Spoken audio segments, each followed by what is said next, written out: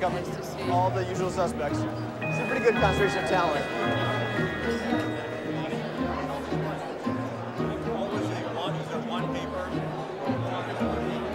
You're in the middle of the China mess now. Oh, yeah, I'm in the middle of the China mess. I'm going back and forth on that. It is a mess. Professor? Tycoon? How are you, sir? Tycoon? Yeah, hi, Janet, how are you? It's nice to see you. Can you imagine putting different administrations, No, it's amazing. different parties together? And Franklin Roosevelt told Herbert Hoover, see you in Go March. fuck yourself. Yeah. exactly. So how come I got Paul Giamatti to play me and you got Billy Crudup or somebody?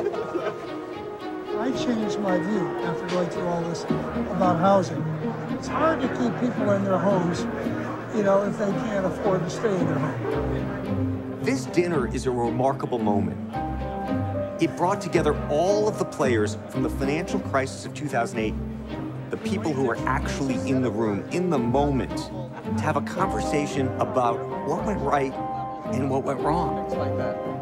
In the 2008 financial panic, there's no playbook for this stuff. There's no roadmap. There's no instruction manual on what to do. We're trying to think of the most hated moment in the crisis. Yeah, there was a lot of a lot of candidates. I think the most hated program was AIG by far.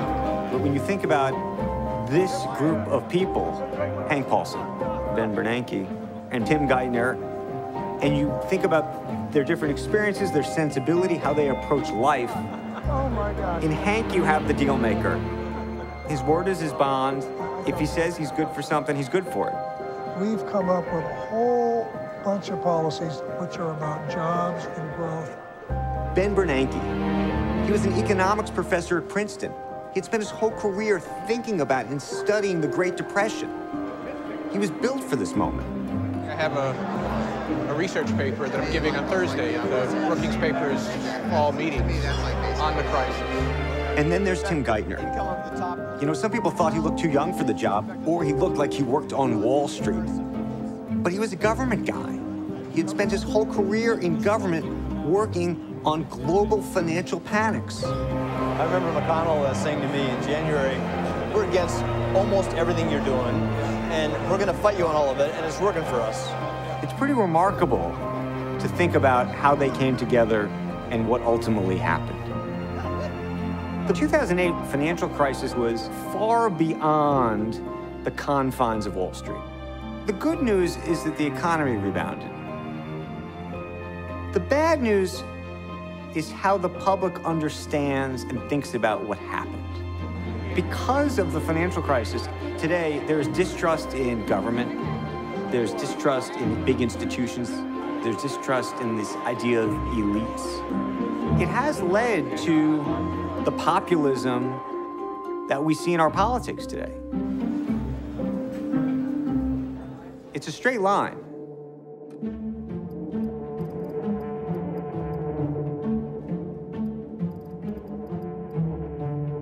Big trouble for millions of American homeowners as a slowing housing market has turned some mortgages into time bombs.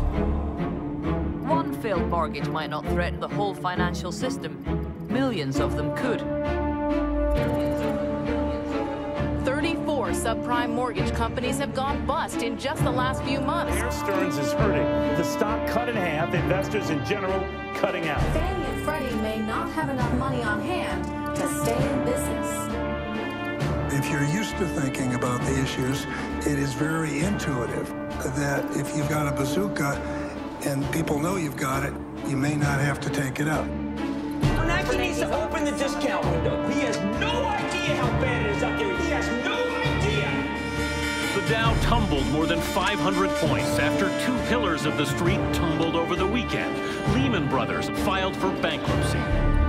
The Dow Industrials finished with their worst one-day point loss in history, down 777 points.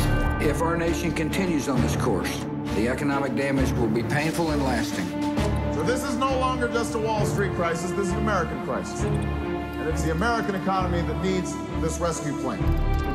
How many of you people want to pay for your neighbor's mortgage that has an extra bathroom and can't pay their bills? Raise their hand. Uh, President Obama, are you listening? We are tired of the 1% of the 1%. And what they have done to the country, what they've done to the world, government is finished. This American carnage stops right here and stops right now.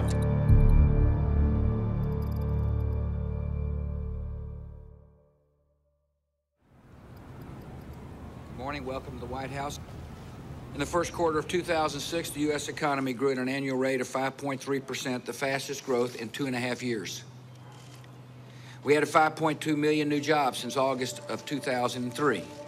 When I became chief of staff at the beginning of 2006, the president gave me a mandate to refresh the cabinet. I felt strongly that the president needed a secretary of the Treasury who was experienced in the markets and whom the markets would respect. And Hank Paulson really stood out. He is the leader of Goldman Sachs, perhaps the most successful financial institution in the history of the world at that time. Josh Bolten, who was the chief of staff to uh, George Bush, called and made a pitch. I talked with people around me, and no one advised me that that was the right thing to do. First, he said his family would be against it. His wife was a friend and classmate of Hillary Clinton. My wife, Wendy, clearly didn't want to, and uh, I d- didn't want to. So I, I turned it down a couple of times. Wendy's reticence came largely from the work years ago when I was in the White House. I went to the Nixon White House. Great sense of timing, six weeks before the Watergate break-in. I wanted to be And sure you what got Wendy didn't like had to do with the whole political scene. But a few weeks later, they came back. It had occurred to me the reason I was turning this down was, you know, due to fear of failure. And I tell you, as soon as that hit me, I just reversed on a dime. Hank came up to the treaty room there in the White House. He was reluctant, but he wanted to serve the country. And I assured him uh, one thing that I think was important to Hank, and that is when he picked up the phone and called me, I'd answer it. In other words, he wouldn't have to battle his way through a lot of layers of staff.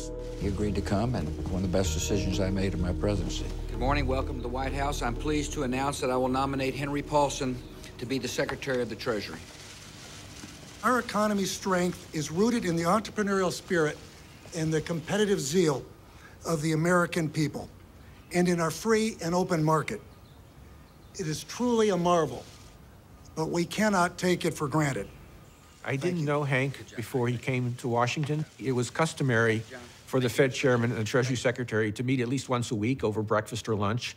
We both liked oatmeal, so we used to have an oatmeal breakfast either in my dining room or in, or in the Treasury dining room.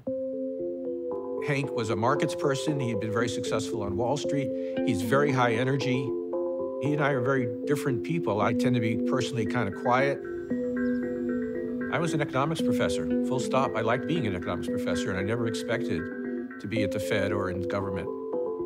But in 2002, I got a call from the White House. They needed to fill a slot on the Board of Governors of the Federal Reserve. Would I be interested? You know, I recognized that I had been spending my academic career studying monetary policy and financial markets, and, and maybe I could put some of that to use. And moreover, it was just a few months after 9 11, and I was kind of feeling that it was important for me to do some public service. Today, I'm honored to announce that I'm nominating Ben Bernanke to be the next chairman of the Federal Reserve. You could say Ben was the academic who grew up studying the mistakes made in the Great Depression, why financial systems matter to economies. You know, Hank had spent his life in markets, and I'd spent my life in the in the policy world, really dealing with financial crises. I first met Tim uh, when he became the president of the New York Fed. Well, the New York Fed is probably the most important of the 12 Federal Reserve banks, and the president of the New York Fed has traditionally been the Fed's eyes and ears on Wall Street. I think we all had something in common, which is, you know, anybody who'd grown their life in markets understands that markets aren't always self-correcting. So I think we all shared a view about this tenuous fragility of the system. We really did trust each other. When I arrived in July of 2006, I thought there was a very good chance that in the two and a half years I was in Washington, we would be facing a, a financial crisis. But the things that I was concerned about turned out not to be the biggest problem. It was March 13th, which happens to be my birthday. I was at Avra, this Greek restaurant down here with my parents, my family. The CEO of Bear Stearns called me. It was maybe 9 o'clock at night and said, Jamie, I need $29 billion before Asia opens or we're going to have to declare bankruptcy. And I said, Alan, I can't possibly lend you $29 billion overnight. Bear Stearns, one of the most admired firms in America, now one of the most in danger. The firm has been buffeted by constant rumors of a looming liquidity problem. What happened at Bear Stearns was the first true demonstration of what the crisis looked like because it was a crisis of confidence. Bear Stearns owned a huge piece of the housing business, and they had taken on some of the worst risk. All of a sudden, all sorts of investors on Wall Street said, I don't think that Bear Stearns is good for the money. And not only do I not think they're good for the money, I got to get my money out of there immediately. Bear Stearns is the biggest casualty yet of the nation's mortgage mess. The company has become a poster boy for the real estate bubble. We knew that there are excesses in housing, and we missed it totally. Homeownership went very sadly from shelter to an investment. When I had joined Goldman Sachs in 1974, the industry was growing in many ways. You saw an evolution in modern finance. You began to see different forms of securitizations. Mortgage-backed securities really came into being in the 1980s. They started as a really good idea, which made a lot of sense, which was a way to take mortgages, package them up, and sell off the cash flows. So an investor would buy a portion of all these mortgages, and the mortgages would pay that investor. And the idea was that made investing in mortgages much less risky because instead of investing in just me, you were investing in a thousand people. As we moved to securitization, we had cheaper mortgages. If you could afford 20% down, fine. But if you couldn't, let's say you have 5%, let's say you had 1%, let's say you had 0%. We came up with all these ways to get loans to more people. You know, it was certainly felt exciting at the time that we were going to spread the American dream all over the place. It's a record year for housing, and it shows no signs of abating. In the early 2000s, the price of borrowing to finance a house was very low, very attractive. These exotic loans have exploded in the last three years. Interest-only loans, adjustable rate loans, no down payment options. People who were earning like $1,000 a month working as a gardener or working as a hairstylist saying they were making $10,000 a month because you could do these things called stated income loans, which came to be known as liar loans, where you could just say, here's what I make, and nobody would check. And so you could get away with murder. Demand for these million dollar plus homes has outpaced supply. You got speculators buying multiple houses, people are flipping. Your neighbor who's not as smart as you are, but nevertheless went out and bought a couple of houses and flipped them, is now driving a better car than you are. And you say, yeah, that does make pretty good sense. I wish I'd started earlier.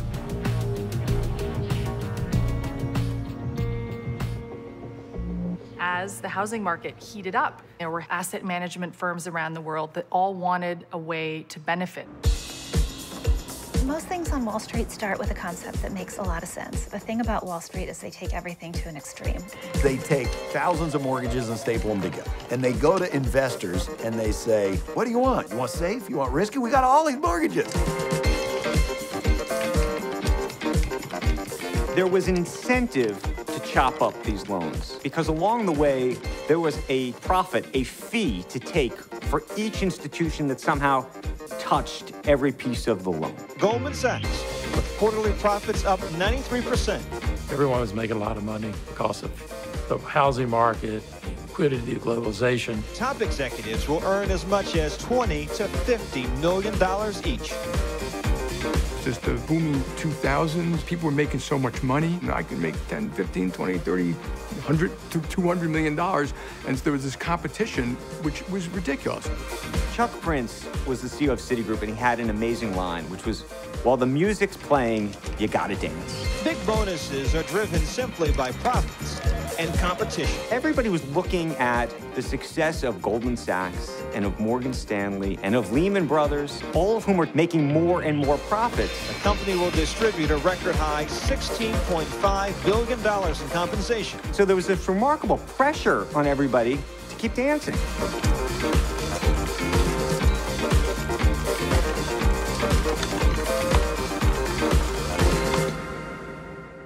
Another part of what drove this was belief that home prices would never go down. The shaky housing market starting to crack at the foundation. Particularly hard hit markets Miami, Vegas, Northern Virginia, and right here in D.C. Historically, house prices have been somewhat disconnected across different parts of the country, but this housing bubble did end up being national and it did have implications for the whole economy.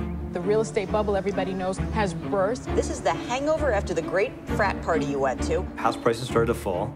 The economy started to slow. Those adjustable rate mortgages are now coming due. People who had bought these adjustable rate mortgages, when they started to reset, they couldn't afford to make the higher payments. They tried to refinance them. But their house prices declined in value, so they couldn't refinance them. Foreclosures are up over a thousand percent. Some people start defaulting on their mortgage payments. And now that begins to ripple through. It was very, very bad. A lot of people lost their homes, a lot of people lost their savings.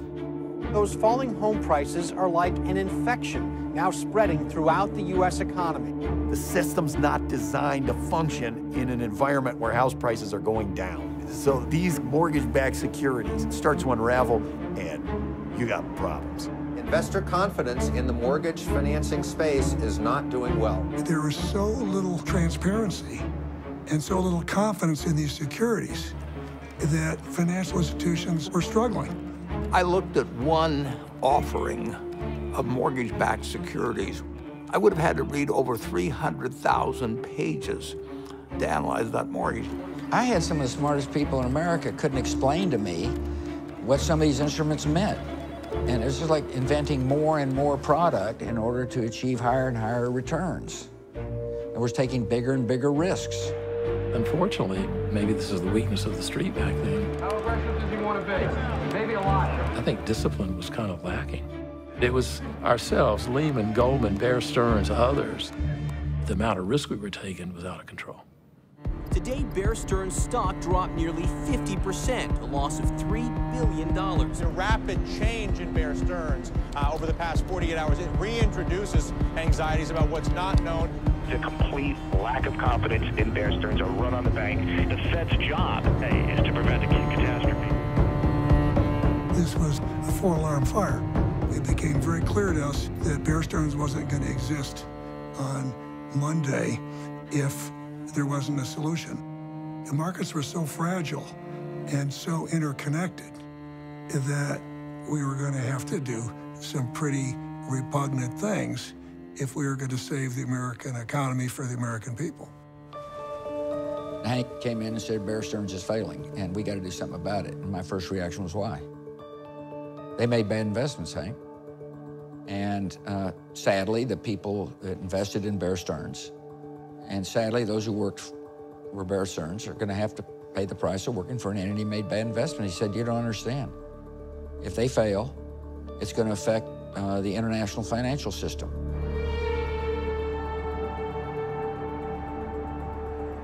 I had been told there was no authority for the Fed or anyone else to guarantee the liabilities of a failing non-bank. There is nothing more terrifying than feeling a great sense of responsibility and not having the authorities you need.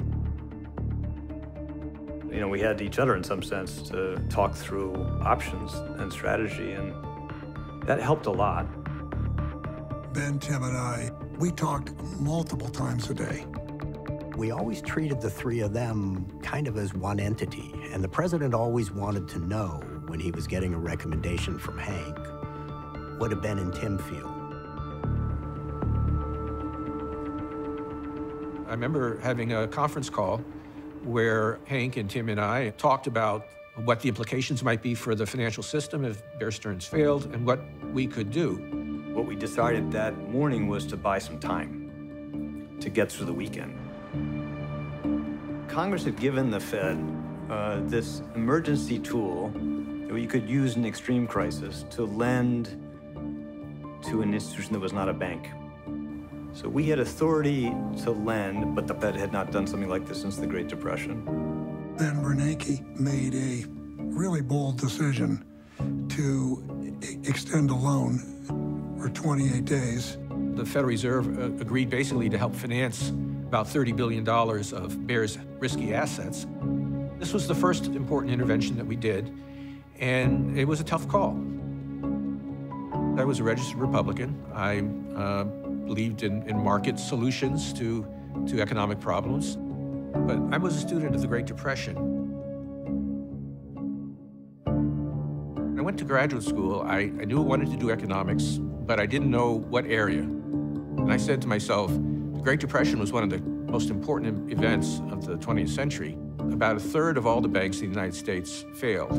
And that, in turn, created a tremendous contraction in the amount of credit available to ordinary households and businesses. My grandfather's drugstores kept going out of business in the 1930s, and it created enormous hardships for many, many years. Later on, when I was a policymaker, took to heart the idea that allowing the financial system to collapse and the credit system to collapse was going to be extremely dangerous for the whole economy, and that was why it was so important to make the loan. Bear Stearns was forced to take an emergency loan funded by all of us. The taxpayer bailout prompted investors to dump Bear Stearns stock. As Bear Stearns was going down, President Bush was scheduled to be in Wall Street to make a speech at the New York Economic Club. 43rd President of the United States. Mr. President, the floor is yours. He showed the speech to me. He had a line in it that said there could be no bailouts. I started off by saying you could take that line out about no bailouts. President Bush tried to make light of a grim situation. Seems like I showed up in a interesting moment. I was unhappy about it. You know, I was a free marketer. I told people that, you know, uh, and firmly believed it, and still do, by the way. But Hank is a persuasive guy, and I trusted him. Then what became apparent was a loan that was permissible for the Fed to make. No way was it going to stop an investment bank from disintegrating. And fortunately, J.P. Morgan was a buyer.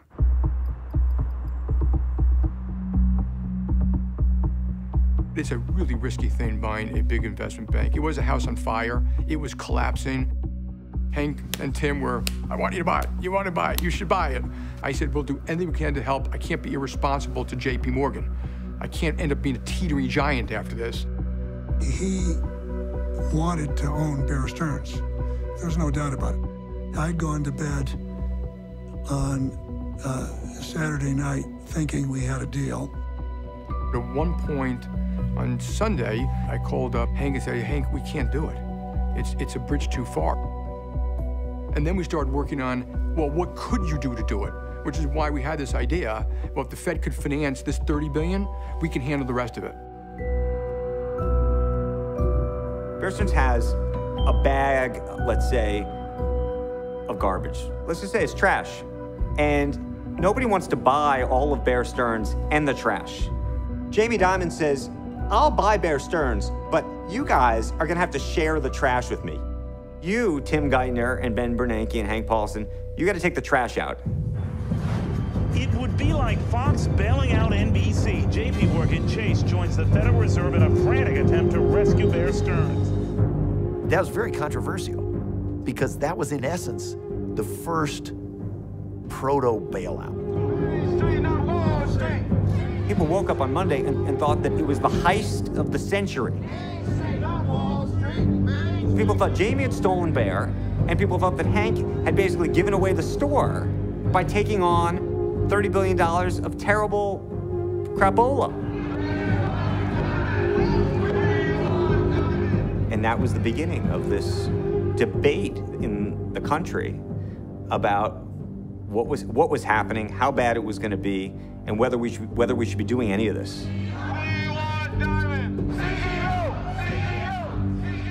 Communication was a really tough issue during the crisis. None of us were able to convince the public that what we did was not for Wall Street, but it was for the American people.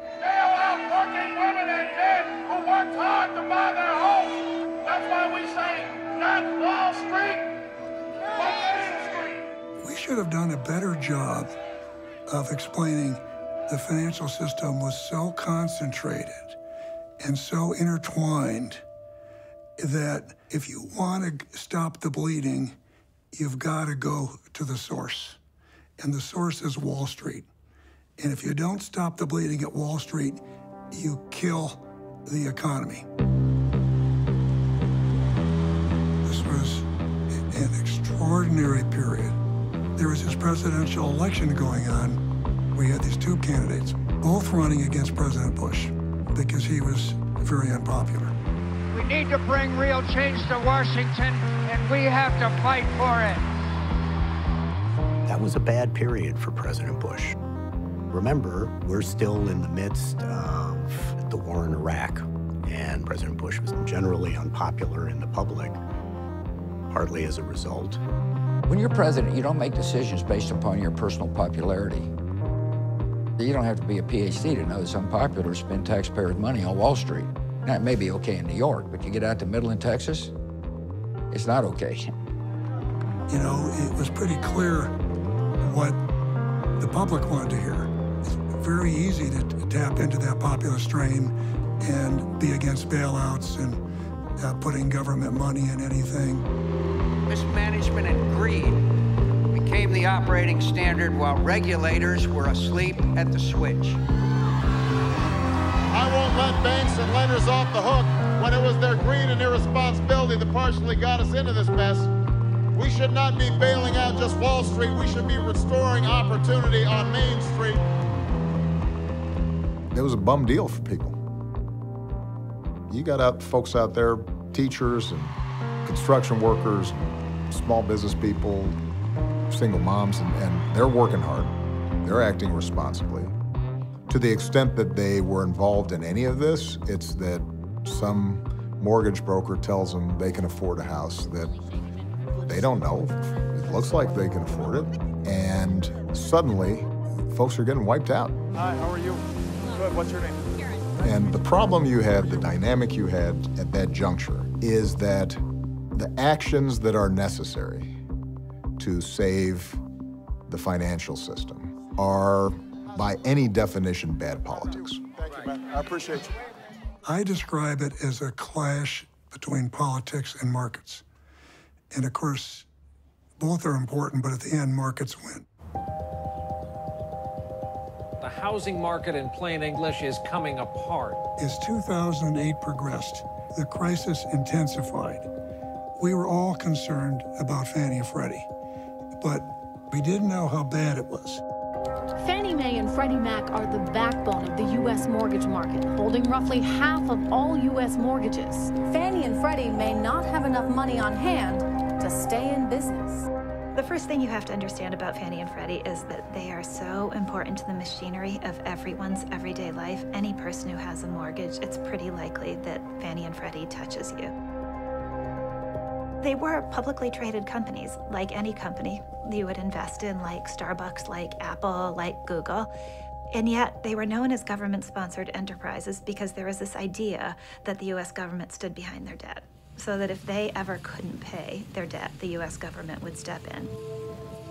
They got a government money printing machine in which the government implicitly says, if everything goes wrong, we'll, we'll foot the bill.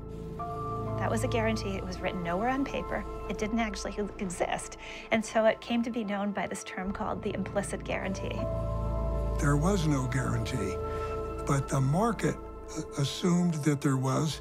So you had management teams and shareholders making money off a government guarantee. They insured something on the order of $5 trillion, something close to half of all the mortgages in the United States were insured and resold by Fannie and Freddie. The fear was if Fannie and Freddie defaulted, that would throw the global financial system um, into chaos. The company's stock price is off more than 85% since the credit crisis began last August. They've announced huge losses. Their stock is diving. So I needed to ask Congress for enough money to calm the markets. Thanks, Secretary Paulson and the chairman of the Federal Reserve. We thank uh, Chairman Bernanke for his involvement. This was a tough political ask with members of Congress. I felt we needed expansive authorities. One of the proposals that, uh, that you've suggested is an increase in the Treasury line of credit for Fannie and Freddie. And I have some concerns, and I suspect my colleagues do too, about having no uh, cap, no limit at, at all. If I asked for 100 billion, it wouldn't be enough. And I certainly knew I couldn't ask for a number that started with a T, trillion. How much money are you contemplating here? I, I would ask for it to be unspecified. For some of us, it sounds a little bit like a, a blank check. You're talking about potentially spending a trillion dollars here. We're a little skeptical. One of the tough things about testimony was that you had multiple audiences. So you're sitting at this table a glass of water, you're looking up at the senators, and so you're trying to answer their questions. But you know at the same time that you're talking to the TV camera, which is going out to American public, and then your staff member behind you gives you a piece of paper which says Dow Jones down 180 points. So you're also talking to the markets. I looked at those hearings as largely theater. I was worrying about saving the financial system for the American people. These guys wanted to save the financial system, but they wanted to get elected. But I really believed what I said when I was testifying. I said, you know, if you give us unspecified authorities, it'll be so powerful that we won't have to use them. If you've got a squirt gun in your pocket, you may have to take it out. If you've got a bazooka and people know you've got it, you may not have to take it out. You're not likely to take it out. By having something that is unspecified, it will increase confidence and by increasing confidence, it will uh, greatly reduce the likelihood it will ever be used. You know, he had this tremendously valuable skill, which is how to convince uh, people to do something they did not think was in their interest. It was Hank, in that instance and in others, who kind of laid down the law and said, you know, this is what's going to happen. I'm about getting something done that can get done, that will make a difference, and in my judgment is in, in the best interest of the taxpayer. The sense of urgency is something I think all of us, at least most of us here, appreciate. Look, we're in the middle of this thing, and it's getting worse. And the Secretary of the Treasury says, "I've got to, yeah, I need these some of these tools." We're in the eye of the hurricane at that point. I got the bazooka, and I didn't think we were going to have to take it out, but the most aggressive investors get very quickly to where the most fearful investors are faster than you can imagine. And so it was only a matter of time until we had to use the bazooka.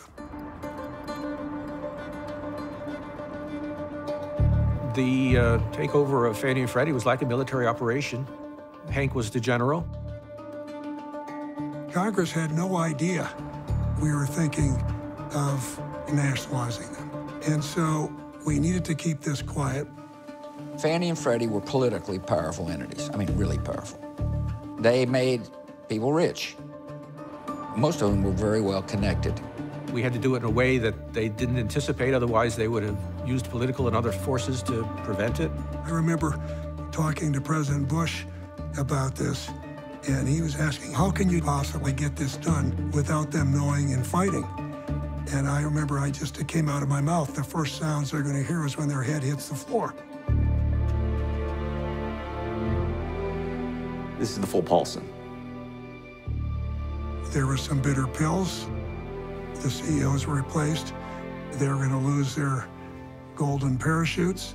History was made when Washington took the reins at the two organizations that back or guarantee nearly half of America's home loans. Today's action should accelerate stabilization in the housing market, ultimately benefiting financial institutions.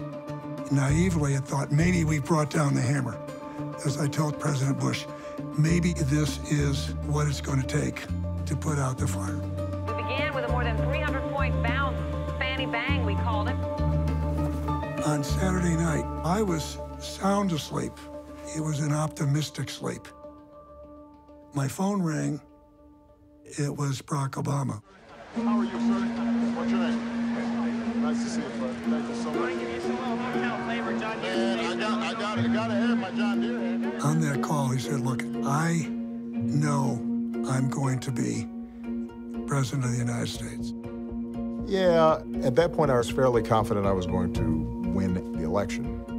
And I already felt as if I had some responsibilities for um, an economy that I was going to have to manage uh, fairly soon.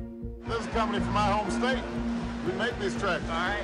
Appreciate you. To Hank's credit, uh, he was consistently straightforward and honest and transparent with us, and I ended up developing a, a, a good relationship with him and, and uh, trusting him, and it had been impressed upon me that if this thing went sideways, we could have a, a depression, and whatever short-term political advantage I might gain from it was not something that I was going to be interested in, uh, in playing. Very nice you. I'm proud of you. Appreciate you. He very nicely warned me you better take care of the Republican candidate because if I start hearing populist anti bailout rhetoric for him, I'm going to have to start talking that way. Two years ago, there was one man who stood up and warned us about the problems at Fannie Mae and Freddie Mac. It was John McCain. Next day, I talked with John McCain and Sarah Palin. I encouraged everybody to call me Hank. I did not want to be Mr. Secretary. But somehow or other, I don't know what it was on that first call, the way she immediately started saying Hank, the tone of voice, it just, it, it rubbed me a little bit the wrong way. People in Florida are and should be outraged. Huge financial institutions going under because of their own bad practices and now asking the public to bail them out. Despite what her other failings may or may not have been, she certainly understood where the public was with regard to bailouts.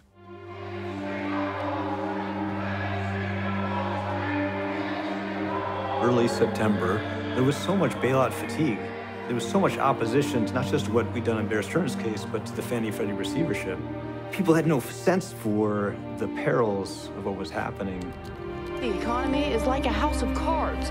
The bottom could still drop out, sending markets into a free fall. I had grown up in the Treasury in a series of crises that happened to other countries, beginning in really 94 with the Mexican financial crisis. I then lived through a whole wave of really devastating emerging market financial crises in Thailand, Korea, Brazil, Indonesia. In Indonesia, fears of financial disaster hit the streets, with long lines formed outside supermarkets. I could see, you know, how deep the depressions were, how tragic were the costs, and how hard it was for people to figure out a way to navigate their way through it. Uh, had a huge impact on me, of course. Panics are different from all other crises, and in a panic, you have to use overwhelming force because you have to convince people it's safe not to run, not to panic. And to do that, you have to muster a wall of money. Lehman taking a beating right now, down about 35%. It hasn't traded this low since 1998. Lehman Brothers, in particular, both was leveraged, but more importantly, had taken on a huge amount of real estate. And that real estate every day was being marked down even more. Another tough day for shares of Lehman Brothers today. CEO Dick Fuld is actively shopping the entire brokerage firm. Uh, Dick Fuld was looking for capital. He contacted us. I had talks with him. I came down on a Friday night, I remember, and, and, and looked through a 200 and some page 10K and scribbled a lot of notes on it. I still have the 10K. Uh, and by the time I got all through, uh, I knew we weren't going to, to make a deal. By that week in September, they were close to out of options. The debate now is the role the government will play in all of this. Treasury Secretary Hank Paulson and Fed Chief Ben Bernanke are behaving like socialists and should resign. That is what Kentucky Senator Jim Bunning says. They both should be fired. First for Bernanke not watching the store, and Paulson because he didn't tell the banking committee the truth. Hank, in particular, was taking a lot of the heat for, quote, being the bailout king and the like. If it's $200 billion for this bailout, it was $300 billion for the housing bailout, it was $30 billion for Bear Stearns. I mean, where does it end? Now there are rumors well, that Lehman might be in trouble. The government would obviously come to the rescue. Lehman. I made frequent calls to Dick Fuld. We had told him repeatedly that the government can't put in capital. Source was close to Treasury Secretary Hank Paulson saying there would be, quote, no government money in the resolution of this situation. He puts the word out to the street. We are not in the bailout business. I did call Hank saying, you're going to regret that because it's not going to get solved without more public money. He said, I understand that. This was a tactic, plain and simple. If we didn't communicate that, all the other Wall Street banks would believe that the Fed, you know, would be there to put capital in. We had two potential buyers for Lehman. The first was Bank of America. The second potential acquirer was a British bank called Barclays. We assumed that there would be some bad assets. The hope was to keep the Fed out of it if possible and to get the CEOs from the other Wall Street firms to get involved in, in buying those or holding those assets in some way. Wall Street titans and top government officials have been huddled in emergency meetings, scrambling to prevent the collapse of the giant investment bank Lehman Brothers. I convened the heads of the major firms at, in New York that, that evening. The best financial brains in the world are in pressure negotiations to resolve the fate of Lehman Brothers. This is like the five families. Every major character on Wall Street. This is Jamie Dimon of JP Morgan. This is John Thain of Merrill Lynch. Vikram Pandit of Citigroup, Lloyd Blankfein of Goldman Sachs, John Mack of Morgan Stanley. I thought it was exactly the right thing to do. They had a problem to solve, and their problem was my problem.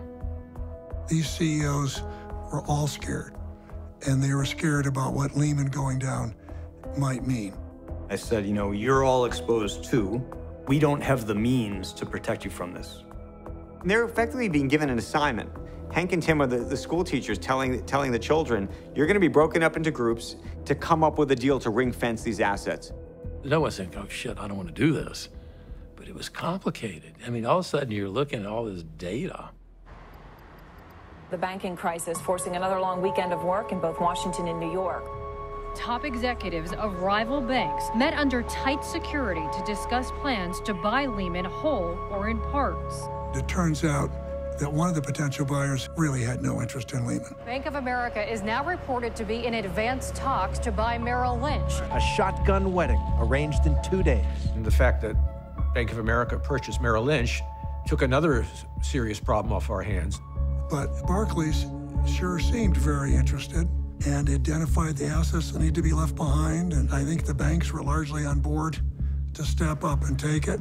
We were all under the impression that this was going to go through. There's one major hitch, which is the British government. Tim Geithner and Hank Paulson get a phone call. There were several people they spoke to, including the bank supervisor, but the decision maker was the Chancellor of the Exchequer, the Secretary of the Treasury, essentially, of the UK, who was named Alistair Darling. And the British said that for Barclays to buy Lehman would be like importing the US cancer.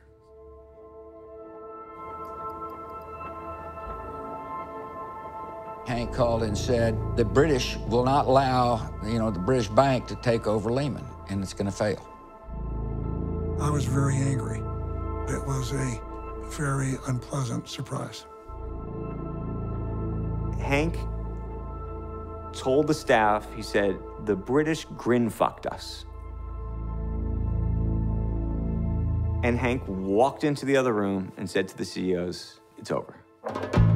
Wall Street in crisis mode this morning. Lehman Brothers says it will file for Chapter 11 bankruptcy today. The Journal and the Times editorial on Monday morning, I would say expressed relief that the Fed hadn't intervened.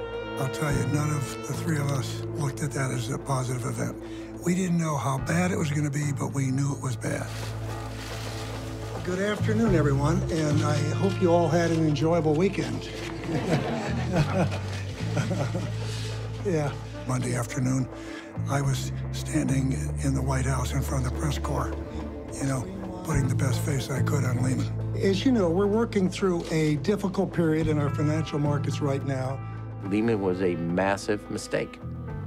And I think maybe those who were involved in that decision will still defend it, but I think when you look at the tremors afterwards, I think that goes down as one of the most colossal mistakes ever.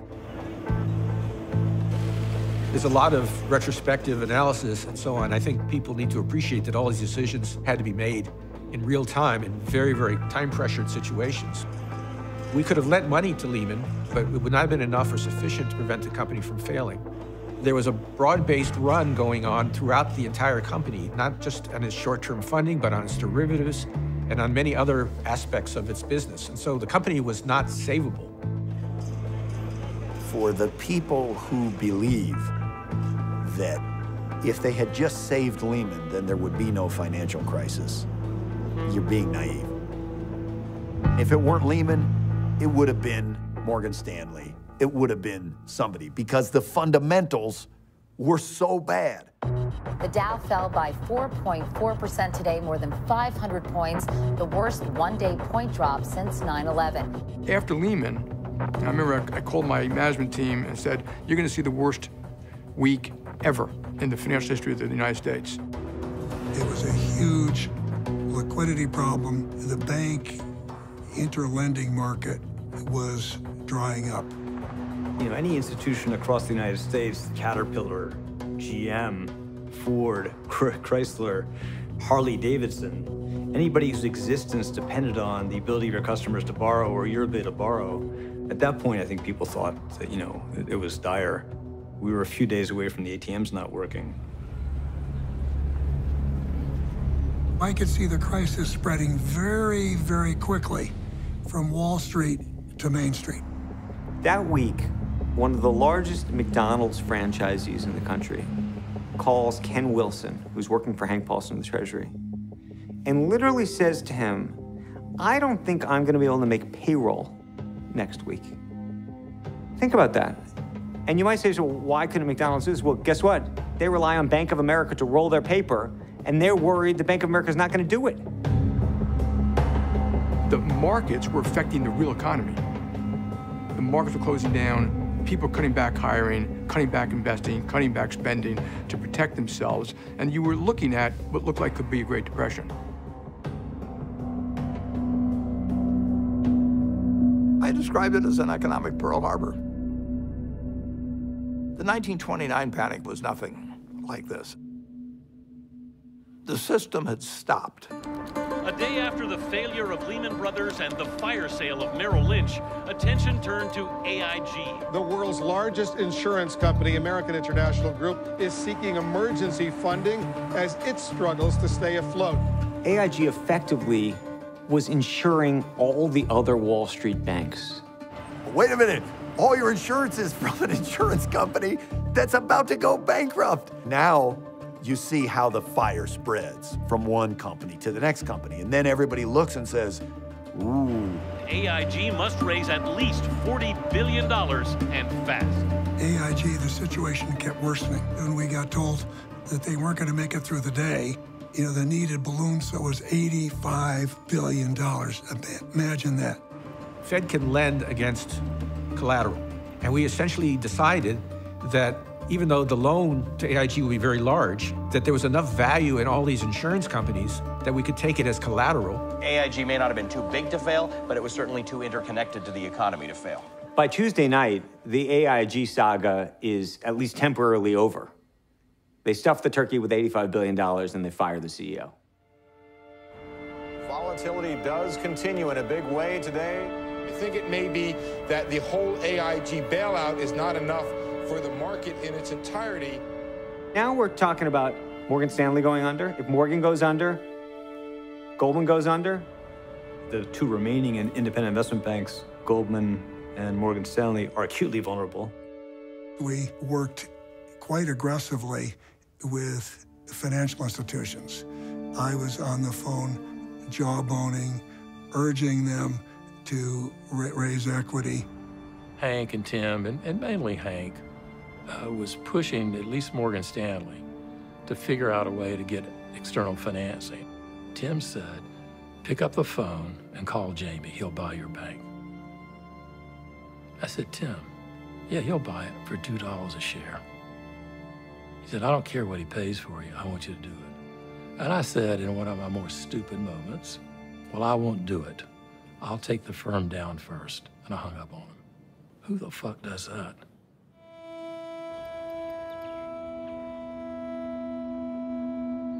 On Thursday, Hank came in with Bernanke, with Geithner, and started talking to the president about we're going to need some legislative authority. We're kind of out of ammunition. We needed to put capital into the banking system, but Hank's concern about capital injections was that it would look like the government was nationalizing or taking over the banking system. And so his idea was to buy troubled assets. This is why it was called the Troubled Asset Relief Program, the TARP. About halfway through the conversation, the president interrupted Hank and directed a question at Ben. I, I asked are we headed for a Great Depression, and Bernanke uh, said, you know, it looks that way. And you have to make up your mind, you know. Do you care? And what I cared about was people that would be hurting. They were already starting to hurt. People getting run out of their homes, payrolls couldn't be met. And I just could envision what a Great Depression would mean. If it's bad now, imagine how bad it would really get. As we left that meeting, the president turned to us and said, if this is Hoover or Roosevelt, for damn sure I'm going to be Roosevelt.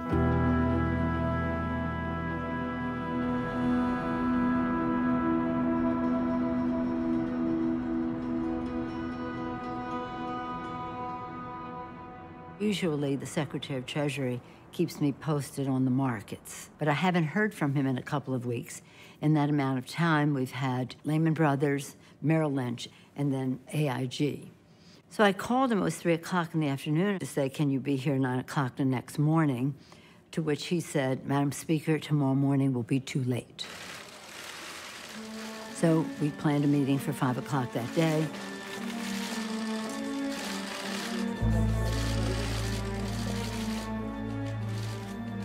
Hank Paulson, and uh, Chairman Bernanke came in. And Chairman Bernanke uh, said to the group, if you don't give Hank Paulson what he needs, within 72 hours, the entire banking system of the United States will fail, and then the world banking system will fail on top of it. One of the most sobering periods I've ever experienced. You got to be kidding. I mean, wh why are we first meeting now? We've got 72 hours.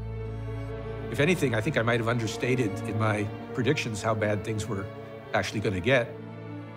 The secretary described what they wanted to do. So we've tested many models, and we have what we call our break the glass plan. We were going to buy troubled assets. You know, not sure how, but we were going to buy troubled assets. About every 15 minutes, Majority Leader Reid would say, how much is this going to cost? $100 billion? No, no, no, no. Hank said, no, no, no, no. We knew it couldn't start with a T. I couldn't ask for a trillion. I wasn't going to be unable to get unspecified again. And so the biggest number we thought we could get was 700 billion. And we thought, you know, 500 billion sounds sounds big, but 700 billion, 500 billion, 700 billion, many people don't know the difference. Basically, we wanted it to be as big as we could get without spooking Congress so it blew up in our face. I said we need the authorities immediately, and Harry Reid says Congress doesn't do anything immediately. And so it was after that where we all walked out and late at night had a presser. We reached a bipartisan agreement to work together uh, to try to solve this problem and to do it in an expeditious uh, manner. I am very impressed with Chairman Bernanke, Secretary Paulson, I've said that on a number of occasions. We look forward to working with them, and we're anxious to see their proposal, which we hope to receive in a matter of hours, not days. We're coming together to work for an expeditious solution, uh, which is aimed right. And of course, that was the best thing that happened for the next the next week, because after that it was one difficult process.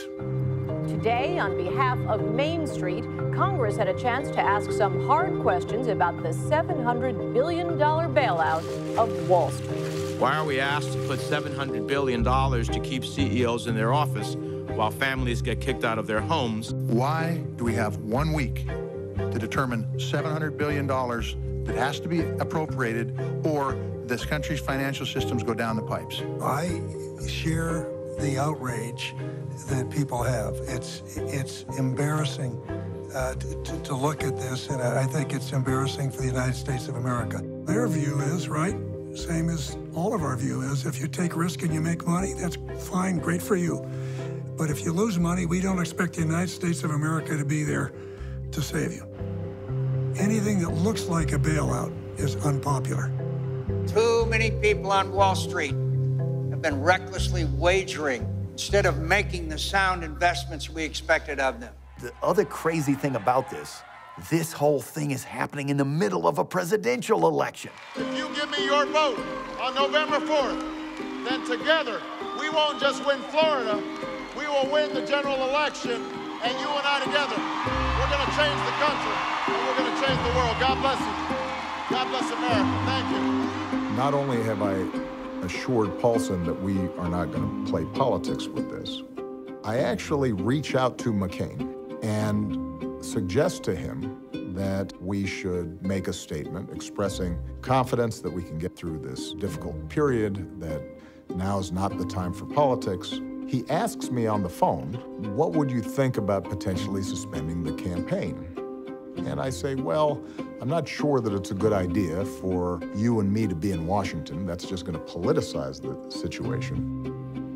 Maybe half an hour passes, maybe less, uh, before David Plouffe, my campaign manager, gets a call saying, listen, uh, John's going to be going out in two minutes to announce that he's suspending the campaign. I said, no, no, no, that can't be right. I just talked to McCain half an hour ago. Well, sure enough, this afternoon, John McCain dropped a political bombshell. Tomorrow morning, I'll suspend my campaign and return to Washington. I'm directing my campaign to work with the Obama campaign to delay Friday night's debate. So there was some cursing that took place uh, in the room. Um, that was irritating, to say the least. McCain had called Bush and said he was going to interrupt his campaign and wanted to come back and help solve the problem. And the president said, ah, that is just the stupidest thing I ever heard. There was a flurry of dramatic developments today as economic policy and power politics collided. So I'm sitting there saying, oh my gosh, if he comes out against what we're doing, we'll lose the Republicans, we may lose the Democrats, and there goes our economy, there goes our financial system. Here comes another Great Depression. It appears to me that John McCain is trying to divert attention to his failing campaign. It reminded me of Andy Kaufman as Mighty Mouse. Oh, here's McCain. Here he comes to save the day. Barney Frank, the chief Democratic negotiator, said it was the longest Hail Mary pass in the history of football and Marys. I'm calling on the president to convene a leadership meeting from both houses of Congress, including Senator Obama and myself. Hank's dead set against the meeting. He doesn't want the meeting. But, you know, if I'd have said no, it would have really hurt his campaign. I called Senator Obama at the time and said, I'm having a meeting at the White House, and I'd like for you to come. President Bush was almost apologetic. He's saying, look, I, I don't know how well this is going to work. We'll try to make it as serious and constructive as possible. I say, well, I appreciate that, Mr. President. I'll, I'll be there. Keep moving, please. Keep moving.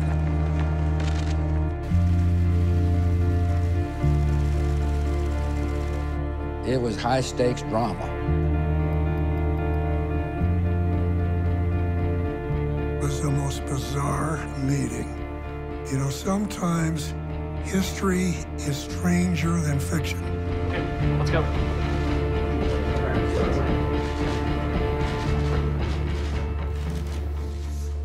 The uh, leaders of the House and the Senate for coming. I appreciate our presidential candidates for being here as well.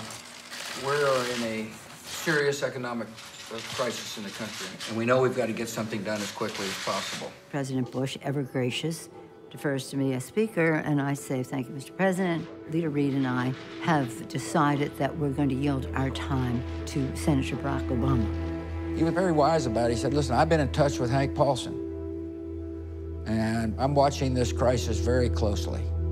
I had, at that point, been pretty steeped in these issues and, and was pretty familiar with them. And I make my pitch, Mr. President, we want to act responsibly. We think it's important that taxpayer money isn't wasted. He had a well-crafted presentation that the president then called on McCain, and McCain said, I'll wait my turn. And there's sort of a deflation around the room. John didn't have much to say. The problem was, I think John still hadn't really thought through what exactly his approach would be at that point. I knew that that campaign was staggering. I knew he couldn't possibly have developed another plan. McCain doesn't want to talk and He said, well, I think the Republicans have a perfect right to offer that plan. Somebody said, no one doubts that, but what do you think about it? And it was so, shall we say, just not there. I didn't believe he had a plan. They thought it was a really cool campaign gambit. They were playing checkers, not chess. They had only thought one move ahead. It was a situation where I felt that he hadn't been served well. His team needed to make sure that he had an agenda that he was bringing to bear. Um, and, and he didn't, and the, the meeting sort of descended into uh, a little bit of chaos. Barney Frank started shouting at him, Where's your plan? Where's your plan, McCain? McCain would not say what he thought about the plan. The meeting broke down into a shouting match. It was chaos and disarray. This thing turned into a food fight. Barney Frank yelling at some Republican guy, and it got out of control. And I basically said, the meeting's over. It brought the meeting to an end. It brought the meeting to an end. It was the most horrifying and dispiriting meeting in the White House that I, I ever experienced. I asked him not to use the White House as a political backdrop. I said, because we're going to spook the markets. You walk out of here and you start giving people what happened in the meeting and this, that, and the other. The markets are shaky as it is, and we don't want to be a part of making them shakier. I think you're waiting on bigger game than me. Richard Shelby went running out and told the press that our plan was a disaster and th there was no support for it. We hadn't gotten an agreement. Uh, there's still a lot a lot of different opinions. Uh, mine is it's flawed from the beginning. And the Democrats all went running into the Roosevelt room. We're talking about what Obama is going to say in the press conference afterwards. I was a little naive because I thought, geez, these are all my friends. I've been working with them. I've been talking with them regularly. And I was concerned that they were going to run out and what they were going to say to the press. So I came barging right in like I shouldn't have. And they're all huddled around Barack Obama, and I went right up to him like I was one of them. And they looked at me and they said, Get out of here. This is uh, the famous meeting at which Hank Paulson, only half in jest, gets down on one knee and, and begs Nancy Pelosi not to torpedo the TARP legislation. Hank knelt down and said, Madam Speaker, please bring the bill to the floor. And I said, Well, you know, it's not us. We want a solution. You have to get the votes on your side.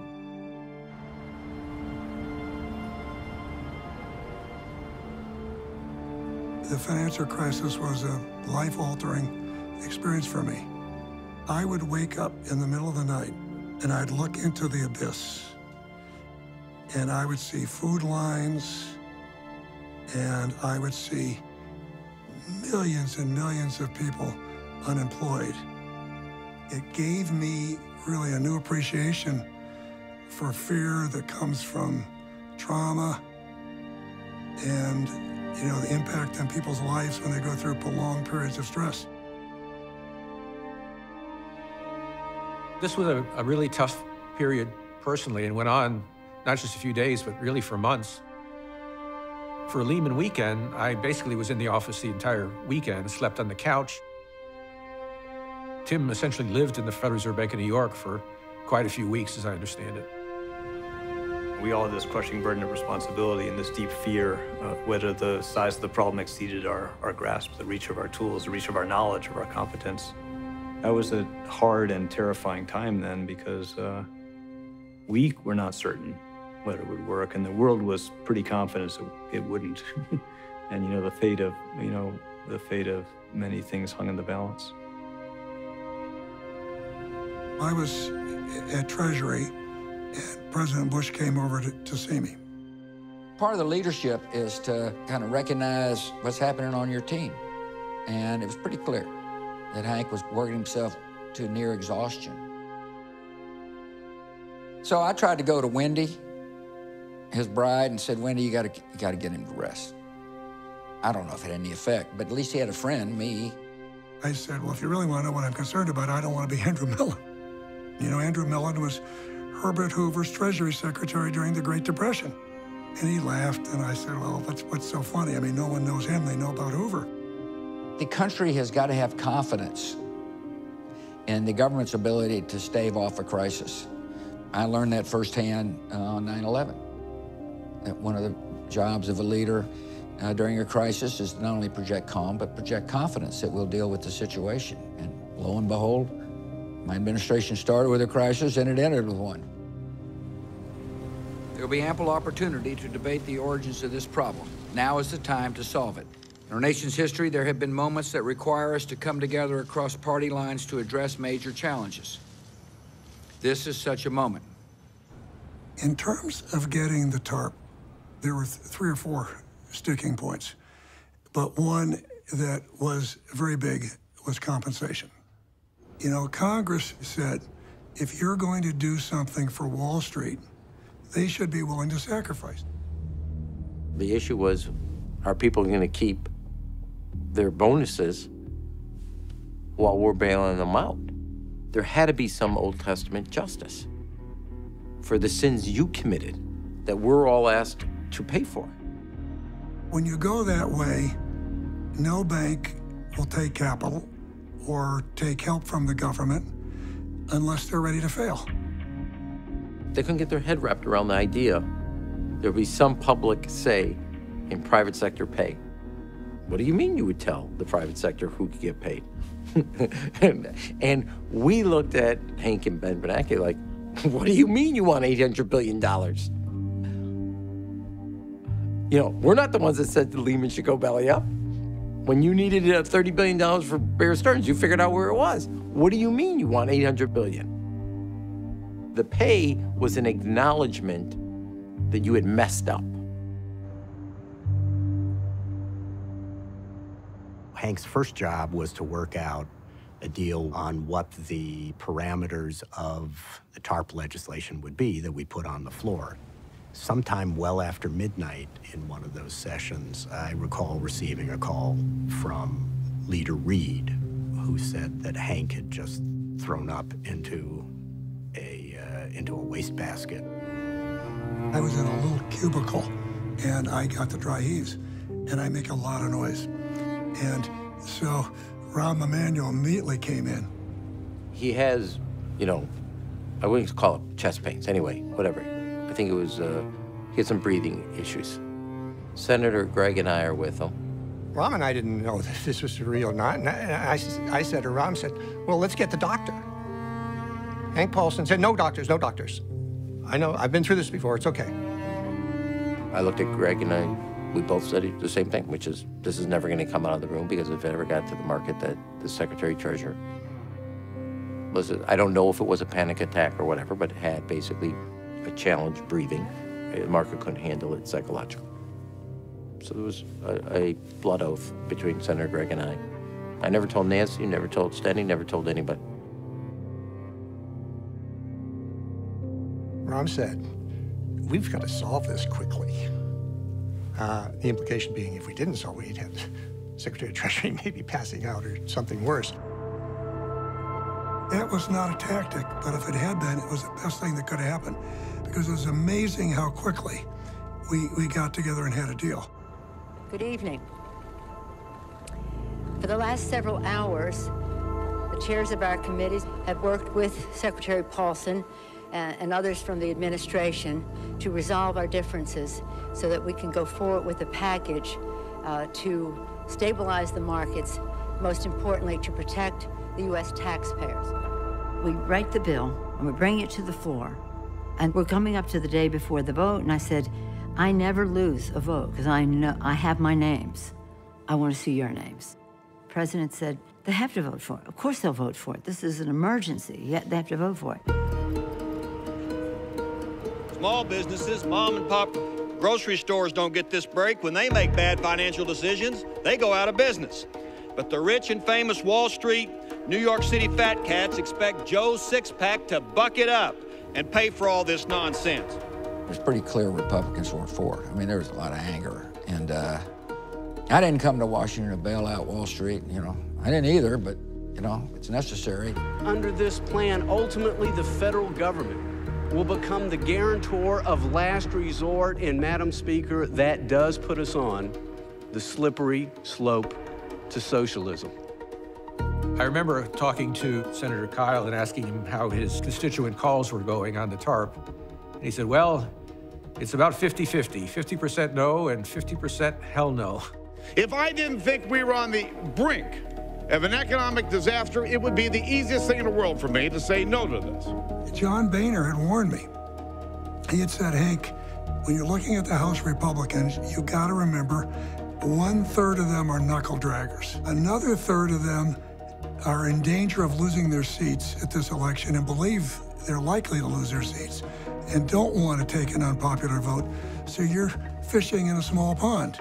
Stand up for the American taxpayer. Reject this bailout and vote no. I went into Hank's office and said, you know, look, the speaker brought this up for a vote. They wouldn't do that if they didn't have the votes to get it over the top. And so we're watching it and watching it and watching it, and nothing's moving, and it's 212 to, you know, just hovering. It was a classic political vote. It was a bad vote if you were a conservative. It was a bad vote if you were a liberal. So the rank and file members went in, assuming that their, their leadership had the votes to pass it. They went in early and they voted no. They left and they couldn't be found. The yeas are 205, the nays are 228.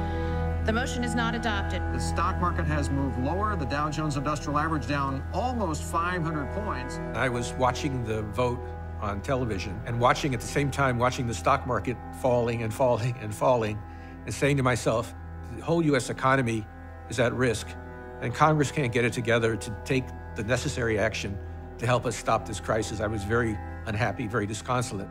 We knew it was going to be a close vote, but uh, the Wall Street is extremely upset. The Republicans abandoned Bush. I don't think Boehner and Blunt knew that they couldn't deliver, but I do remember walking over to them and putting my finger right in John Boehner's chest. I said, you better fix this, and you better fix this fast. I said, this is your problem, not ours. We tried to help. We need everybody to, to calm down and relax and get back to work. The primary issue for the market right now is fear. I always thought I planned for the worst. But I just assumed with all the leaders on board, naive me, I've been in Washington for a couple years, and, but I, I assumed it would pass. Part of that was also every step of the way, that we would have half the votes and they would have half the votes because we believed that this had to be bipartisan. It was very, very deflating. I remember Hank called me that night and his voice broke and he apologized to me for, you know, he's owned this sense of failure because he was unsuccessful that first vote. And I remember saying to him, I said, Hank, you're, we're, you'll get this passed. You know, we're the United States. We'll figure out a way through this.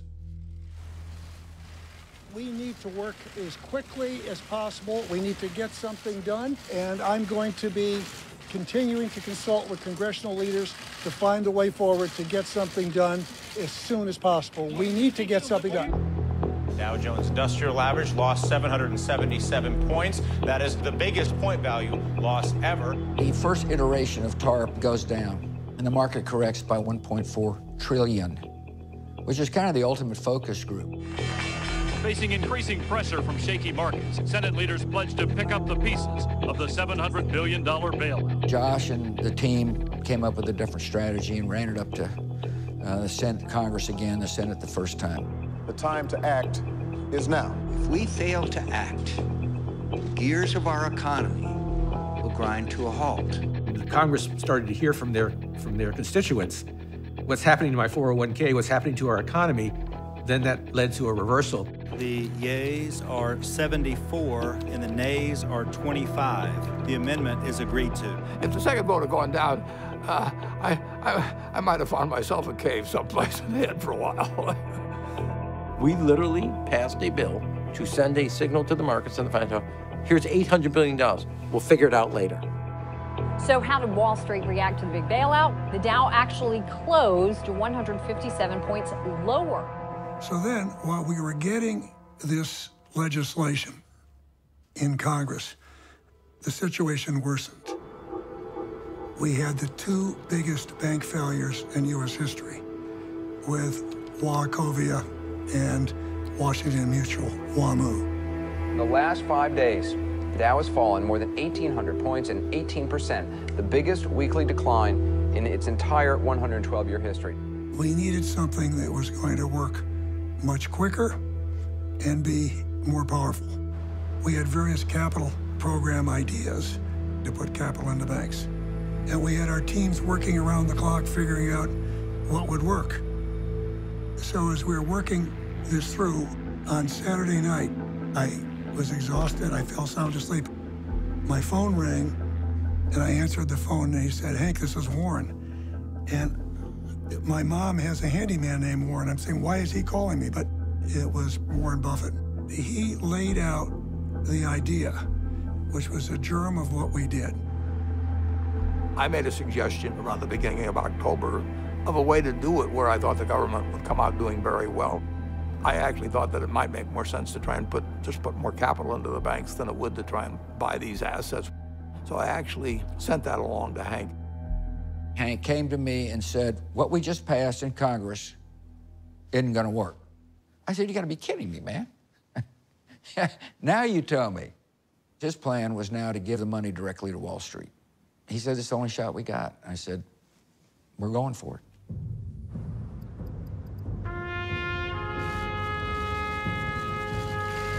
Mr. Mack, time for a comment? Tell us what you'll be discussing today. You have some time to chat with CNBC? You want to tell us you're here to meet with the Treasury Secretary? Nope, sorry.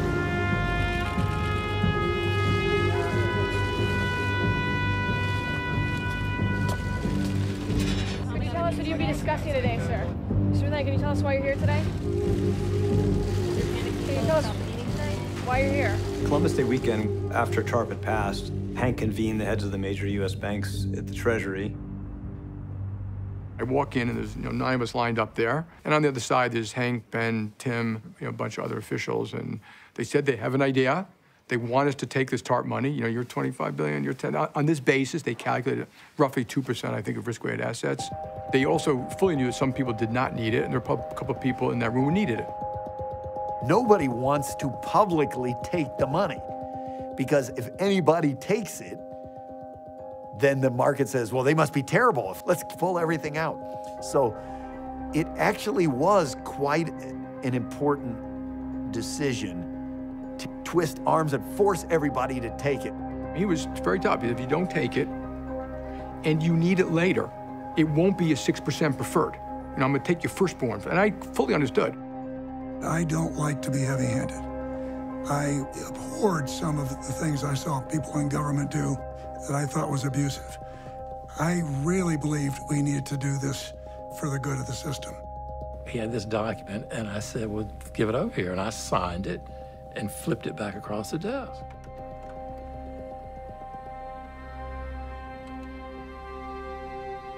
And Vikram said, aren't you going to go to your board?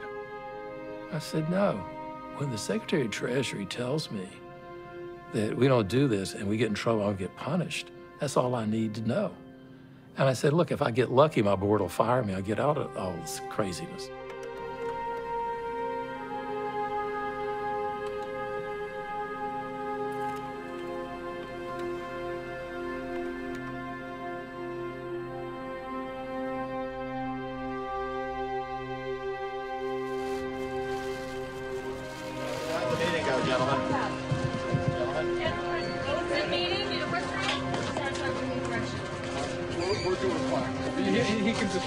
Later, okay? Try not to steal any more money. The press had been all over the place. The mistake we made is in walking out, they tried to talk to us, and every one of us, you know, brushed them off a little bit. Did it go well? How did it work out here, man?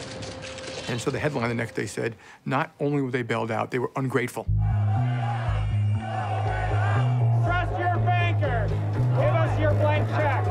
I'm here to oppose the bailout plan because it's a massive transfer of wealth from working Americans to elite uh, institutions and the super wealthy. Give us your firstborn and your blank check. Hank called and said, I got him to take all the money. Plus, I think 700 other banks around the country. It's probably the greatest financial bailout ever. The intervention, I think, saved uh, depression, but I can't prove it. I mean, I can talk till I'm blue in the face at the Rotary clubs and the heartland of America and say, man, we stopped the depression. And they'll look at me and say, no, you spent our money to bail out Wall Street. How many times do we have to dig in our pocket? Betty Mac! Betty Mac! Give us the I think there's still many people who believe that we bailed out companies and helped Wall Street because we were trying to help our friends in the financial industry and not out of our interest in defending the U.S. economy. That's absolutely not true, but you know, I think I have to live with that.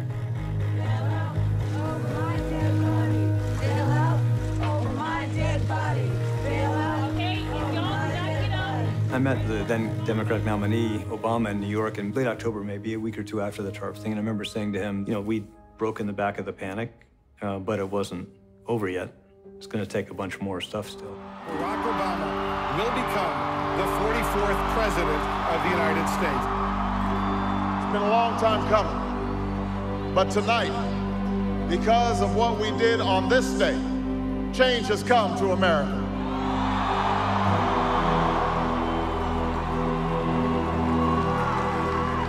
Let us remember that if this financial crisis taught us anything, it's that we cannot have a thriving Wall Street while Main Street suffers. The fever plateaus, but it doesn't break. We didn't know how fast the economy was contracting. The foreclosure rate is skyrocketing and there's no end in sight, so we're going to have to have a housing strategy. For even as we celebrate tonight, we know the challenges that tomorrow will bring are the greatest of our lifetime. We've got at least five institutions um, that are bombs ready to go off at any time. Welcome to the White House. I had been talking to Barack Obama on a daily basis, and the TARP had become stigmatized. My credibility was going fast. You seem to be flying a $700 billion plane by the seat of your pants. I was looking forward to, after the election, to hearing from him and getting support and backing and so on. And instead, I heard from one of his uh, transition team members guess what, Mr. Treasury Secretary? You've had your last conversation with the president. More big name companies made plans to shed workers. A bank that got billions in free money from the taxpayers then turns around, cuts off credit to uh, a local business, and then won't authorize uh, workers to get a penny upon leaving with three days' notice. We're outraged. The nine weeks between the time that, that Barack Obama was elected president and when he was sworn in, it was holy hell. Circuit City will go out of business, cutting 30,000 jobs. The nation's unemployment rate bolted to a 14-year high. We did slow the panic or stop the panic, but the system was very broken at that point, completely frozen. Automakers are back on Capitol Hill today, seeking a $34 billion bailout. It was looking at the need to keep the auto industry from imploding. We pray that you would remove the veil between the people of this nation and the people in authority. But Barack Obama had the political courage to do what was right and do what the public didn't want to hear. All the money came back and came back with a $50 billion profit, the money they put in the, the banks and the insurance companies. So when you look at how the U.S. economy recovered, you know, growing at 2% for the third quarter of 2009 on, our system worked really well. So the TARP capital program is the, the, the most successful program that is broadly hated in the history of mankind.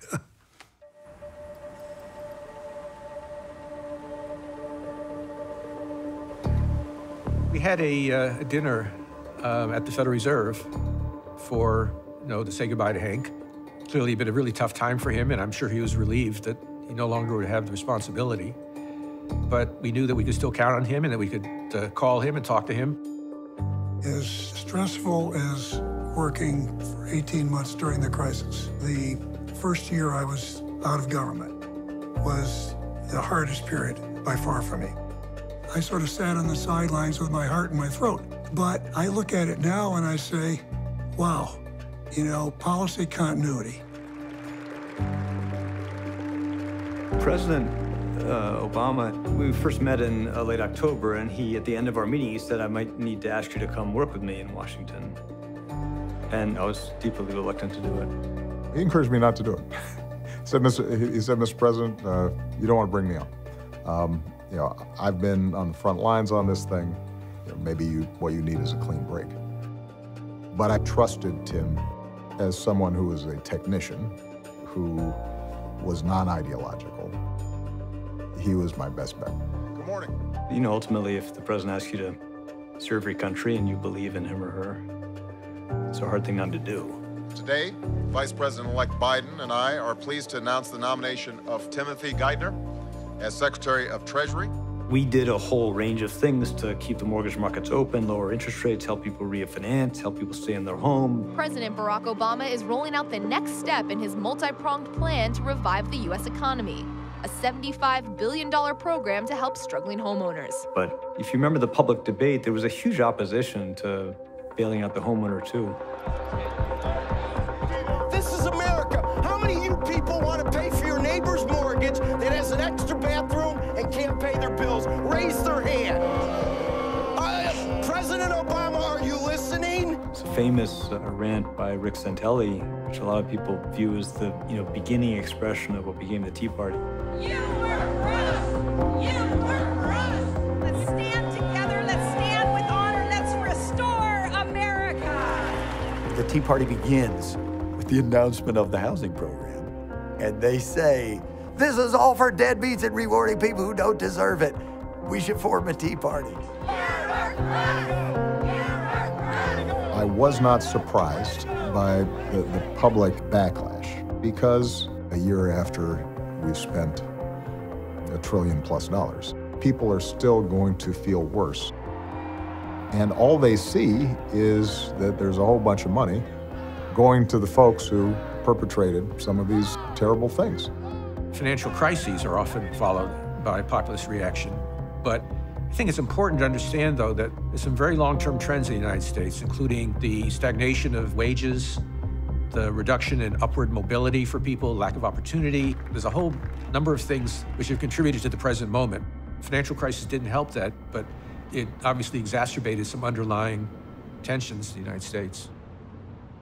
Two of AIG's former CEOs were grilled about a retreat where, only a week after being bailed out by taxpayers, its executives spent $440,000 on oceanfront rooms, rounds of golf, and trips to the resort spa and salon. They were getting their manicures, their facials, their pedicures, and their massages, while American people were, were footing the bill.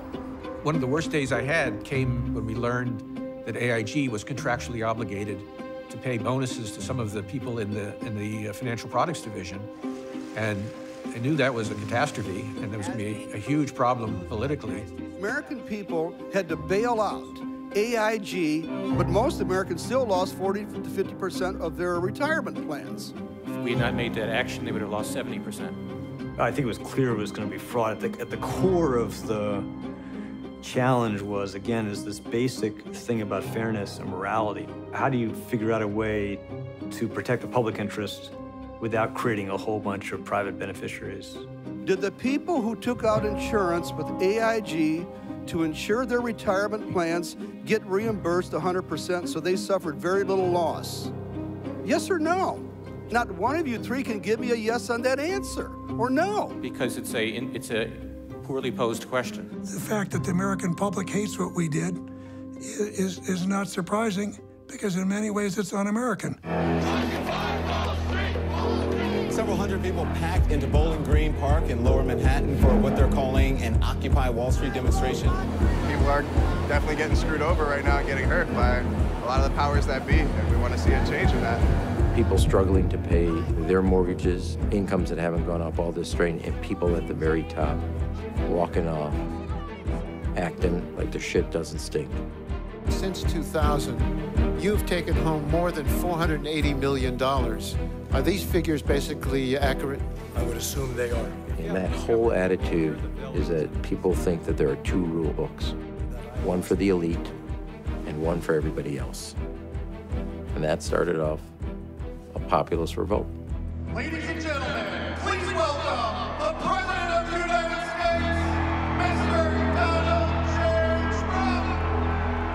The fuse was lit in 2008 and Donald Trump was the explosion. He's the result of the financial crisis.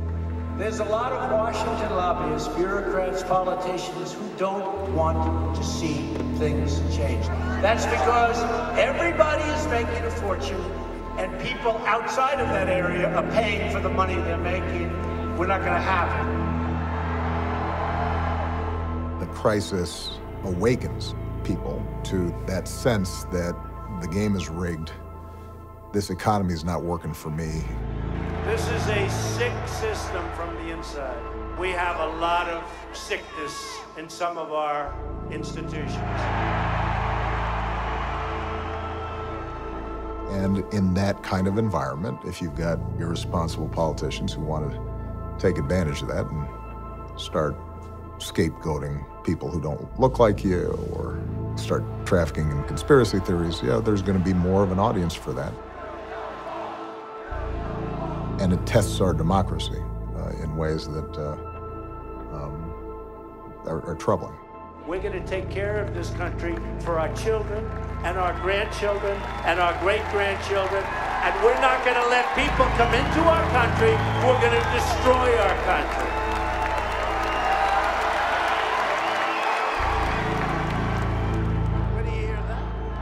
Crises breed populism. And yes, economics go along with politics. And if one is broken, the other gets gets broken. And it's going to take very strong leadership to bring this country together because we're very polarized. USA! USA! USA! USA!